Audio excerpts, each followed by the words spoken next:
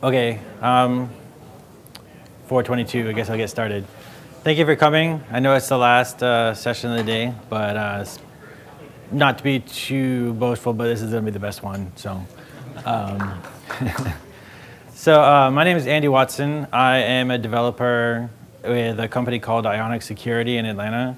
I've been around a while. I started out doing web stuff with uh, Perl CGI back in the 90s, and then discovered PHP around 2001ish, and did a lot of stuff with PHP. Um, and uh, built you know logistics applications and e-commerce applications and uh, built a website for a theme park in Orlando you might have heard of uh, that processes a few million dollars a day in payments. Uh, so I used to write lots of PHP, tons and tons. Um, gradually came to realize there were some limitations as far as uh, things like concurrency that I didn't really like about it. Uh, so now, cut to the quick, I'm gonna go for now. Um, I discovered Go a couple of years ago, fell in love with it, and haven't really looked back. Um, so it's got a lot of really great features for enabling uh, concurrency inside applications, and it has a really great community behind it. Uh, it produces a compiled static binary, so it's very small, very fast. Uh, you don't have dependency problems, things like that. So I re really like the language. Uh, it's really being pushed by a team at Google very hard. The team, the guys that created it are very smart. Uh, they've been around for a while. They invented things you might have heard of like C and Plan 9, uh, things like that. So anyway, so this talk is about how to create your first web application in Go. I originally had a bunch of slides about why, like specific things about PHP that I don't like. I decided that was too negative, so I'll just stay positive. Um, uh, there might be still, still be a few. Uh, so to get started in Go, you go to golang.org. They have a great tour uh, you can take that runs you through the basics about types and slices and uh, things like then channels and things like that to get to learn more about concurrency. Uh, so that's a really great resource that they've put in like right from the very beginning to help you get on board with using it. Um, this little box over here is a playground, so you can type in the code and change it and run it right there in the browser uh, to do a lot of stuff so you can try things, uh, which is really great. Uh, so the great thing about web apps in Go is that they, because you compile it, it produces this self-contained thing, which uh, then you can just run on a Linux box or a Mac or a Windows box or whatever. You can also cross-compile it, so on your Mac laptop you can produce the Linux binary you can, or a Windows binary, or an ARM binary that runs on an Android phone, all from the same source. So it's really great. so here's a, here's a very simple Hello World web app. You have this little bit of code with this inline function that just spits out Hello World, and that's all there is to it. Um, you could actually separate that inline function out as a named function that you could call from other places, uh, but to make it fit on the slide, I condensed it into one thing. So some of the code formatting in the slides is a little, a little rough because PowerPoint's not awesome, but uh, we'll get there. So in that example, you had some, uh, some raw text that got spit out, but in a real application, you have actually sort of complicated, you know, nested, you, know, you have HTML and CSS and JavaScript. You have actually structures you want to repeat multiple times. You have navigation that you want to render over and over again. And so you want to use templates. So you know, with PHP, you might have Twig, or back in my day, you had you know Smarty and things like that. Um, so uh, so uh, the Go language has a templating uh, part of the standard library, and there's an HTML version of that, which helps you a lot with escaping things that should be escaped when it gets presented on the web, uh, encapsulating things, making things safe to display, and sanitizing things. So here's a simple template that's embedded in a string literal, but could actually also still be in a file separately outside your application to allow you to, to, allow you to modify it. So you have this, this HTML tag, and you have these little curly brackets in the middle. Right there. and so that's where your interpolation happens, sort of what the, yeah? Oh, can you not hear me? Maybe. Sorry. Here, I'll, I didn't have anything to clip it to. Is that better? Okay. so, um, So yeah, so we have this template that's in the string, and what happens is the the Go template uh, language looks like these curly brackets, and the dot represents the structure that was passed to the template execution at the top level. If that struct had uh, members of it with names, you could actually refer to them directly in the template like that. And so we'll see that in a second. And then all you do is you still call listen and serve, have the handling function, and you execute the template.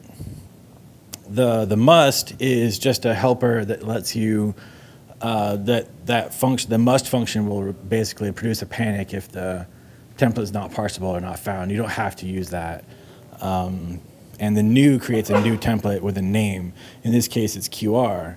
So you can create the template ahead of time before you actually execute it, and you can create multiple templates and refer to them inside of each other by name. But in this case, it's a real quick example, so we just parse it and execute it. So what else can you do with templates? Well, every template needs some simple logic controls.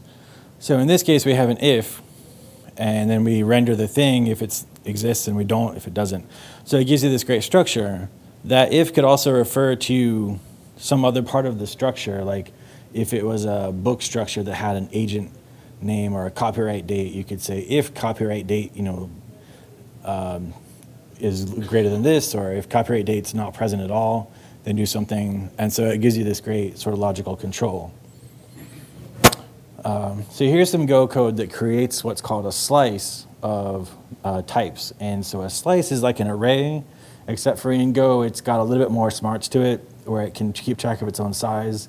And um, some really uh, interesting internal stuff you don't have to really worry about very often, but it's really powerful. So um, even an empty slice uh, actually contains some things, but I won't get into that.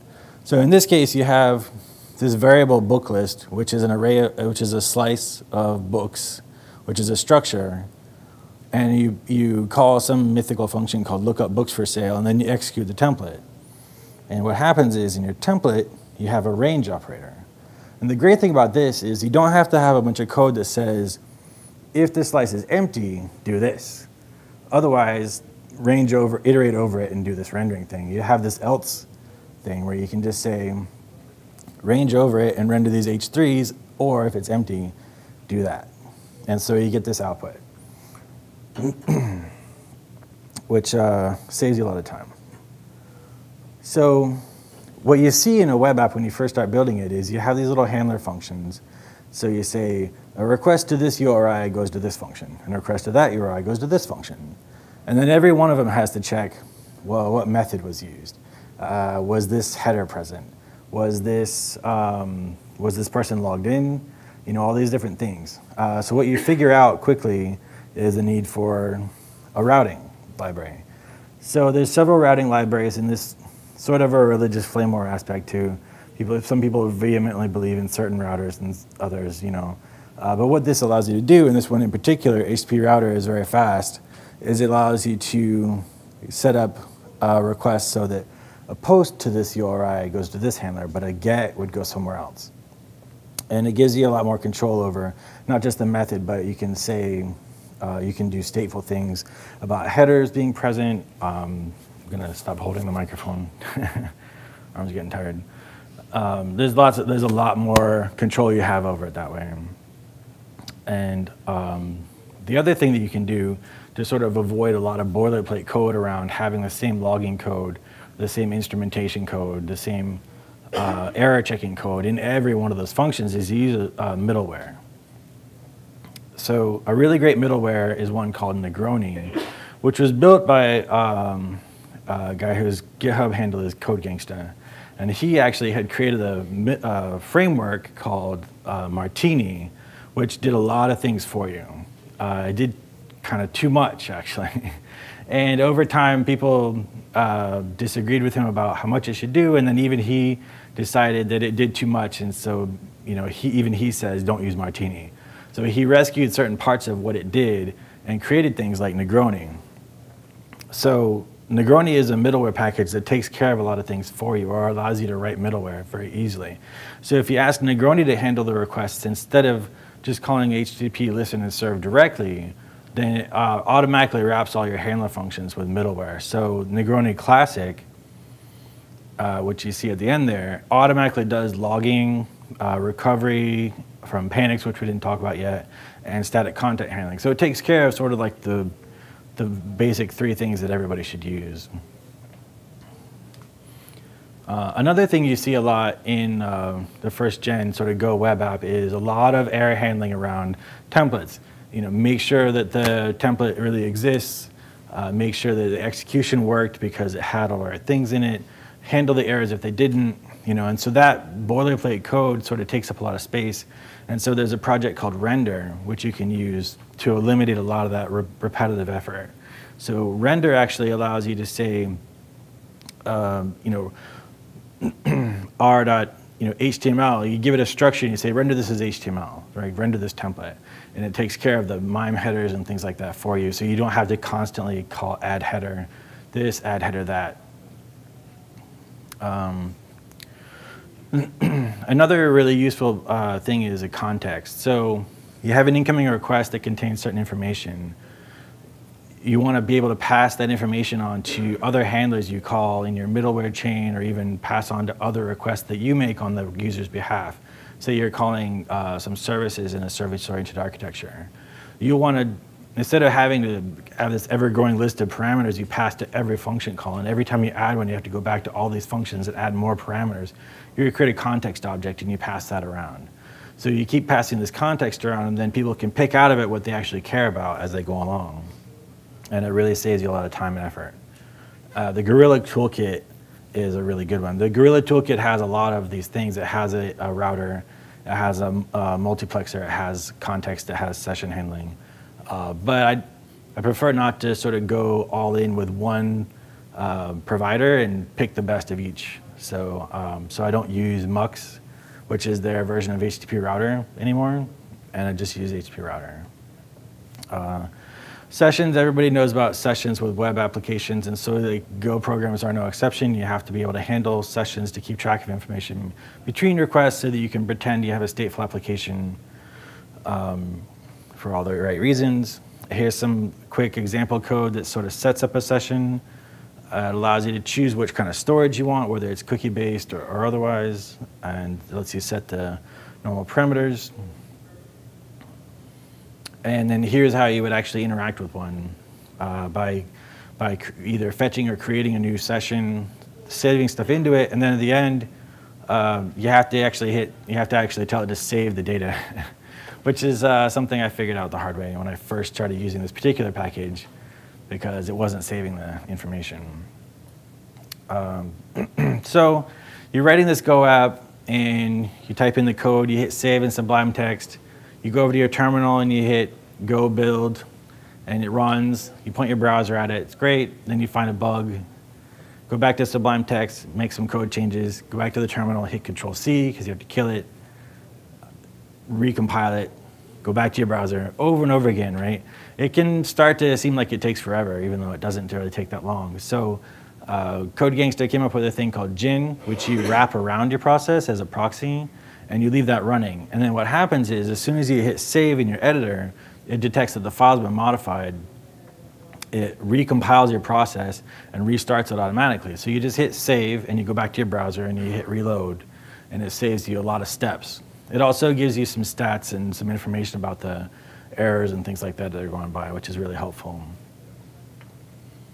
And then when you're finally you know, done or you know, finished the iteration, you can deploy it to production. The great thing about the cross compilation is if you're going to deploy it to a Linux box, you don't have to have a Linux box. You can just save it on your Mac and then cross compile it with the Go toolchain, which is really phenomenal. The Go toolchain is actually capable of uh, compiling to about 12 different platforms from one from one place. And then you just copy it to production and wrap it in Upstart script. But alternatively, oh yeah, I forgot I put this little demo in here. Um, just to show you it actually working Where'd the cursor go? Oh, there we go. So here I actually have a little simple Go web server. You just type go run, and it runs. It's listing the port, and then you hit curl, and out comes hello world. So, um, and then I hit control C, and then it goes. So that's that's like how fast it compiles, and it actually the video capturing process added some lag, so it's actually faster than that. Um, but um, it's pretty powerful stuff. So let's do, where the cursor go? Yeah, okay. So my actual preferred method of producing something that goes to production now is to actually put it in a Docker container. And so Go programs lend themselves really well to Docker containers because they don't have any or very few dependencies. They're statically compiled binaries. They're generally very small. And so if you have a very small binary, you can actually start with a scratch image, which has nothing in it, and then add your statically compiled binary to it, and that's the only thing in it, and it runs just fine. Um, there is actually a Golang library image for Docker that contains the entire Go compilation toolchain and runtime tools. And so you can build and run your application with this uh, library image. So your Docker file just has one line in it, which is pretty nice. And then all you do is Docker build and Docker run, and you have it, and it's done. And if it works, then you can push it to the registry for deployment somewhere else. So that's about the easiest way to get something into production that I've ever seen. Uh, alternatively, there is also Go support for Google App Engine. So when I first started looking at Google App Engine, I guess it was a long time ago, it was like 2008 or 9, it was Python only, and a friend of mine had a startup that was built on top of App Engine, and they had some kind of 24-hour outage because it was very new and it was in beta. So uh, I said, what are you gonna do? And he's like, I don't know. so I was like, I'm not gonna deploy on that right now. But it's really come a long way now in the interval. And uh, now they support Go, they support uh, Java, and they support other things. I swear I thought they supported Ruby, but I don't think they do anymore. So with Go, Go seems to be a really big push for them right now for Google App Engine.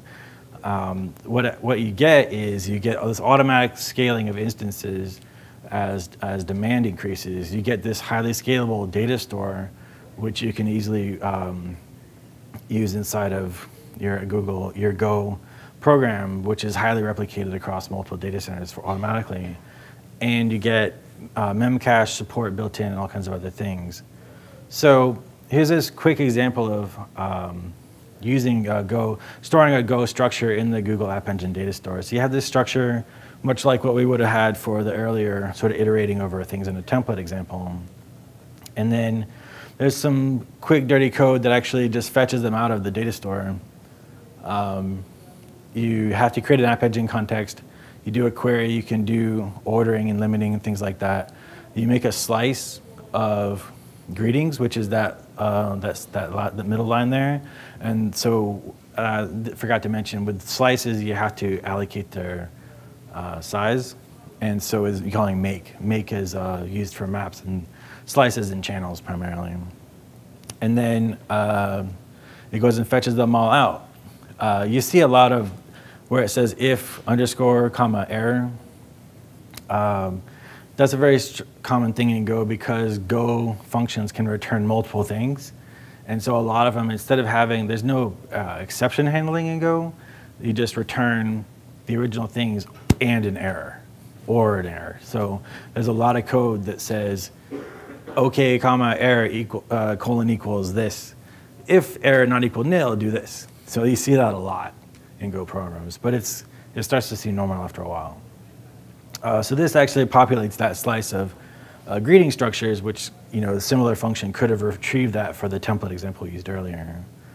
Uh, and there's a complete example of a guestbook application that Google created for Google App Engine, which goes through all kinds of stuff, which is really helpful for getting started.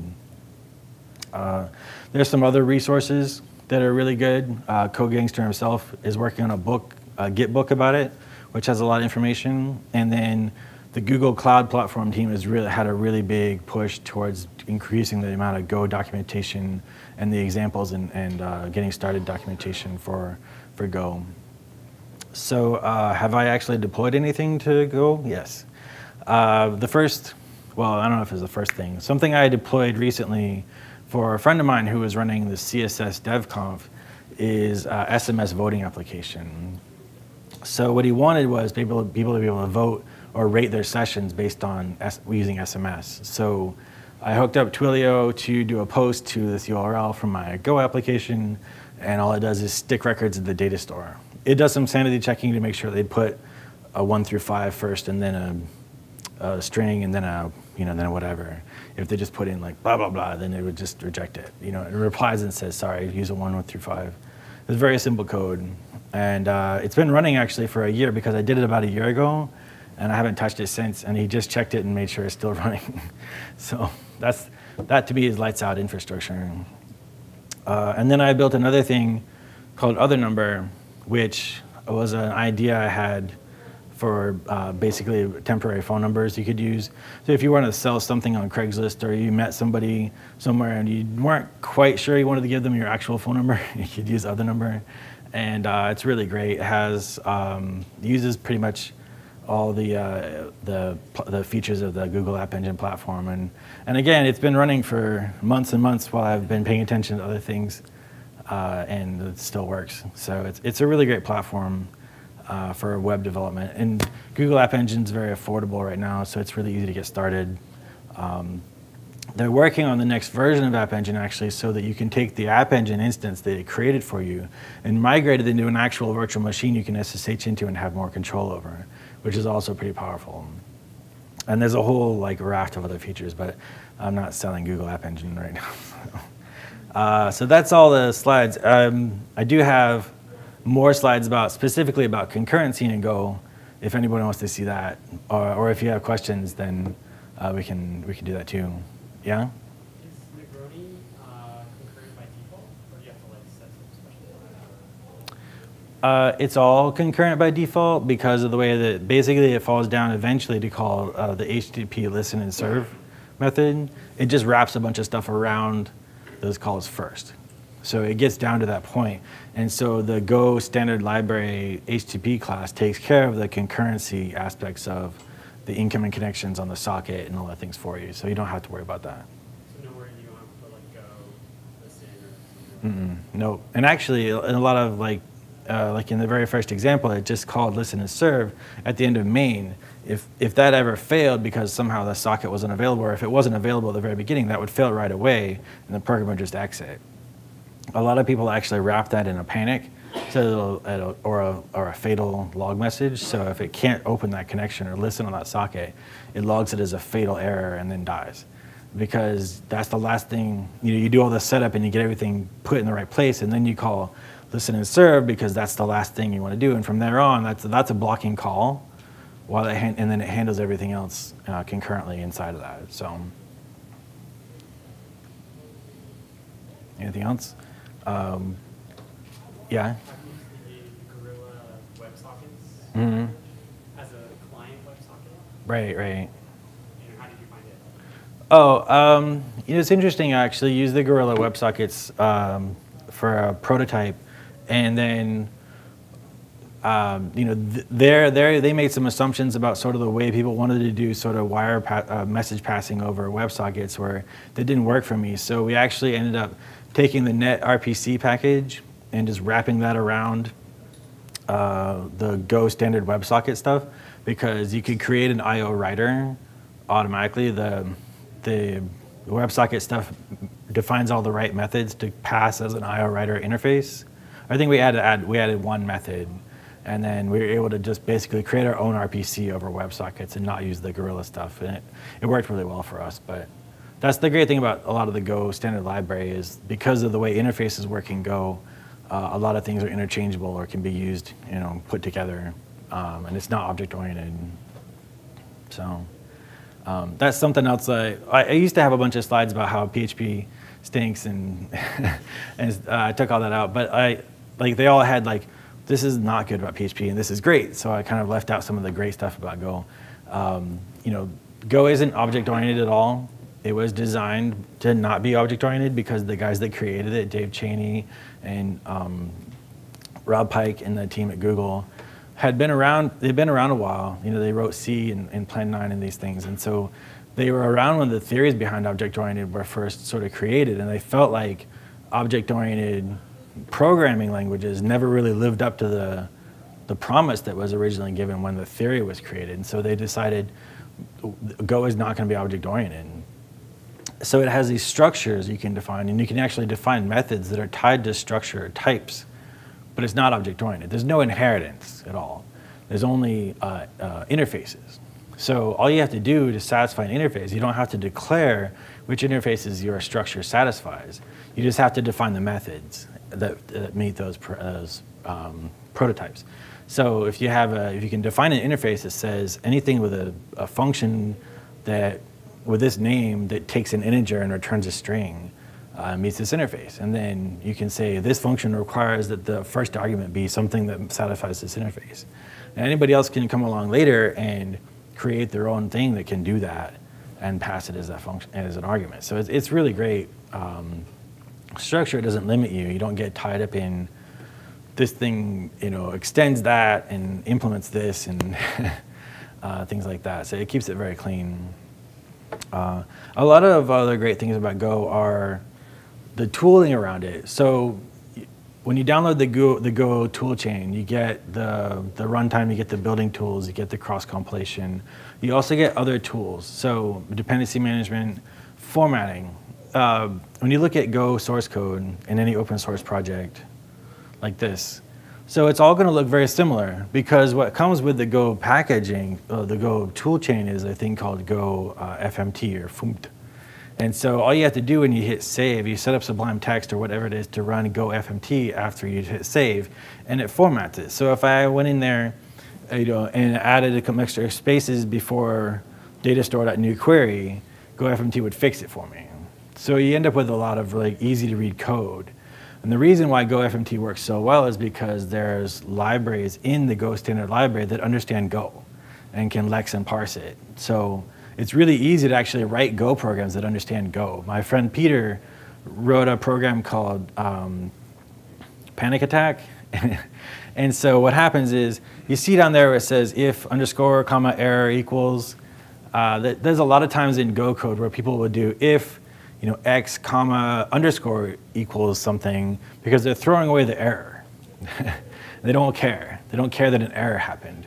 And so he didn't like that. And so he wrote a Go program that can go through Go source code and find all those and replace them with actual variables. And then if the error, and then, and then immediately put uh, panic. so you'll know right away that you left out some error chain handling in your code because when you run it, it panics because he, the, Go, the panic attack thing put uh, a panic in the code for you. Uh, so stuff like that. And that didn't take it very long to do because the Go packages allow you to do that really easily. Uh, so there's a lot of tools for Go because of that, which is really phenomenal. Other languages, you know, kind of struggle with that.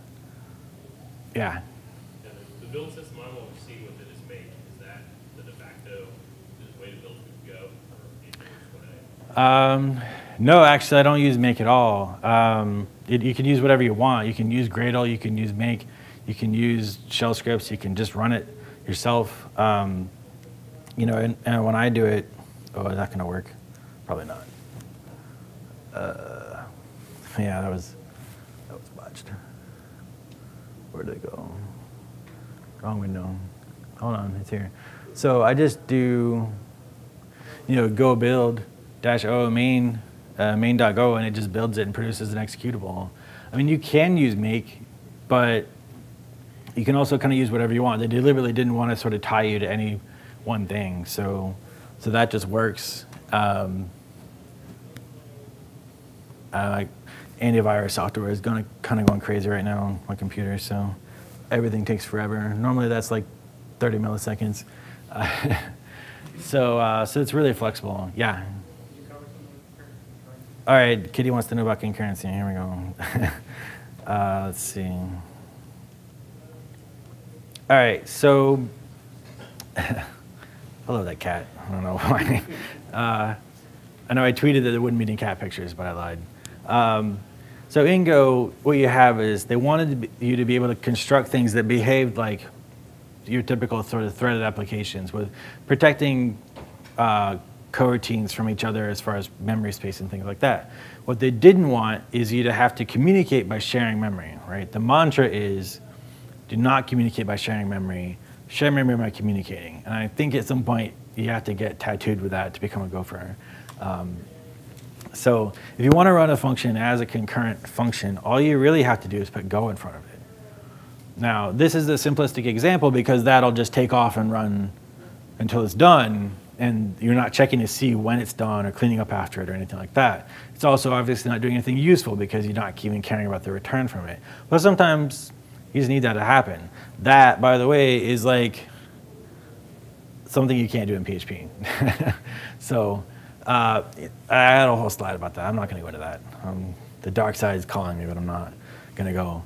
Uh, so they built these things called channels. They're primitive. They're built into the language. They're actual types you declare a channel as having as being able to transport a specific type. Uh, that type can actually be another channel. So you can say, I'm going to send you a channel on this channel. Um, but you have to say what kind of type that channel is. So it comes in really handy for a lot of really advanced concurrency patterns. So this example is a little more robust. This one actually says, uh, the very beginning, I'm going to make a channel that can pass integers. And it's an unbuffered channel. So if nobody's listening, then writing into it actually blocks, which is really great because then in this go function, if nobody's listening, it'll sit there and block and wait until it can write into it, uh, which is really good for, for um, creating semaphores around things or for throttling things and stuff like that. So then you have do something boring for a while or do something for a while. And then at the end, it's going to pull a function out of that channel. It's going to pull a value out of that function. So when at the end, when it gets to that last line, then the one gets fed into the channel because it comes unblocked, and then you get the one out. uh, so they can be buffered or unbuffered. The buffered channels are interesting because you have to declare the size of the buffer ahead of time when you make the channel. And that allows you to create some space for uh, back pressure inside of a you know, service-oriented architecture, things like that. But it can also be pretty tricky because getting the size of the buffers right can be hard. And also things start to act a little strange uh, when you have buffered channels uh, and you don't know if it's getting into the buffer being full or not. Uh, so there's some really great talks that Dave Cheney and Andrew Gerrand and those guys have put on about concurrency and Go, which go into a lot more detail, but they also spell out some really interesting examples of um, how to, different kinds of patterns in Go.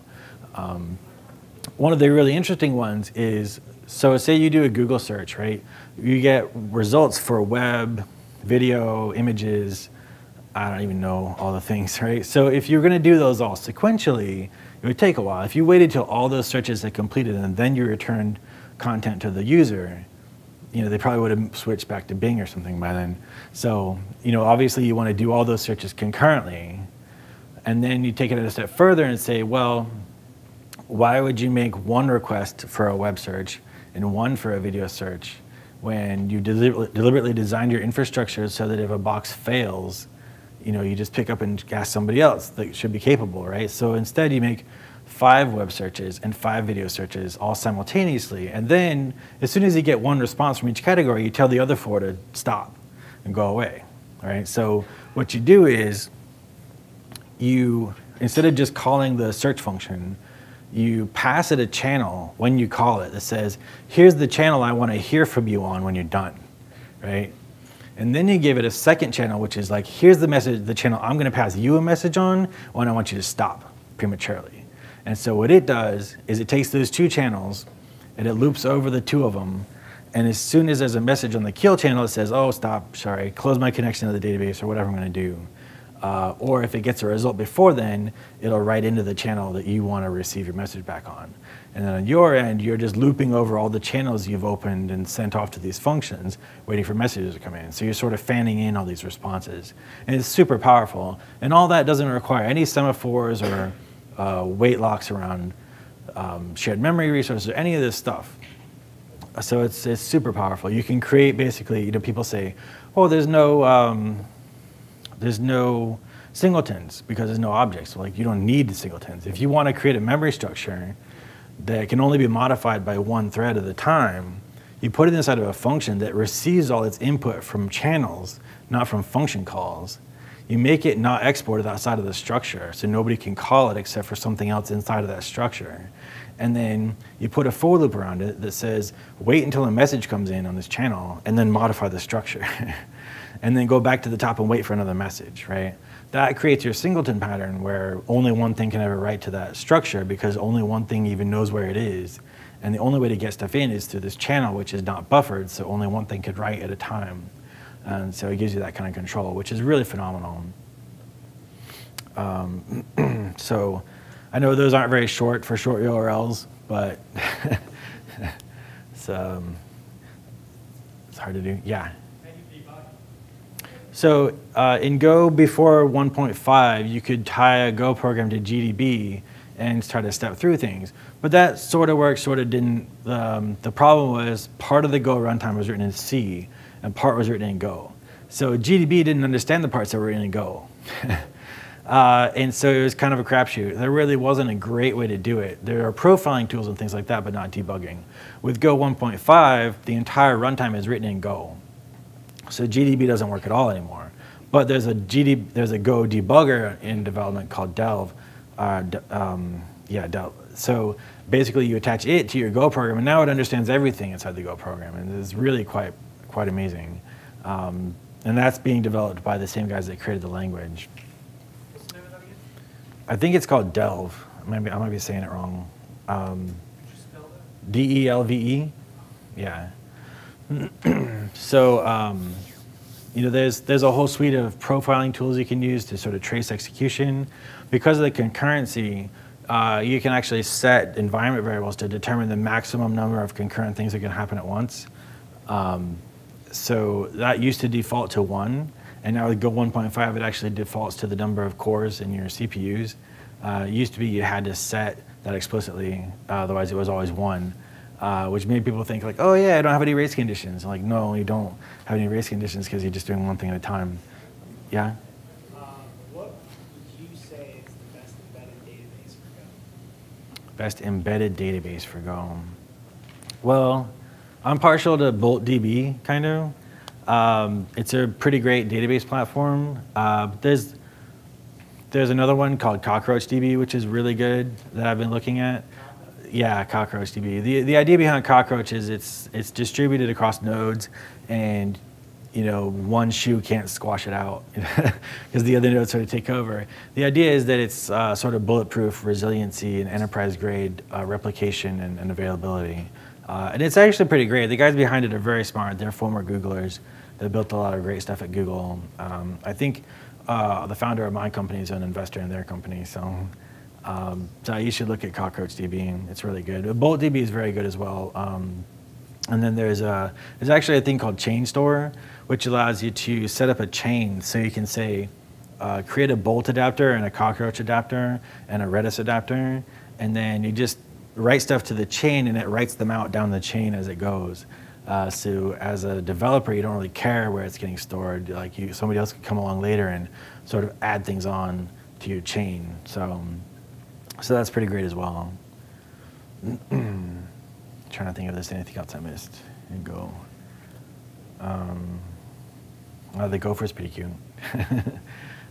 um, so, oh, in uh, Go, you can write mobile apps in Go now for Android. Um, it used to be you could just create little libraries and you had to uh, link the Java app to it. And now, actually, with the Go 1.5 mobile tools, you can create the whole app in Go. So it's kind of crazy to see a Go project with an Android manifest.xml at the top. Um, so they have a whole suite of tools that helps you define the bindings if you wanted to do uh, the Java application and a Go library, to, so you can match them back and forth with all the JNI stuff, which is pretty great. Um, yeah. All right.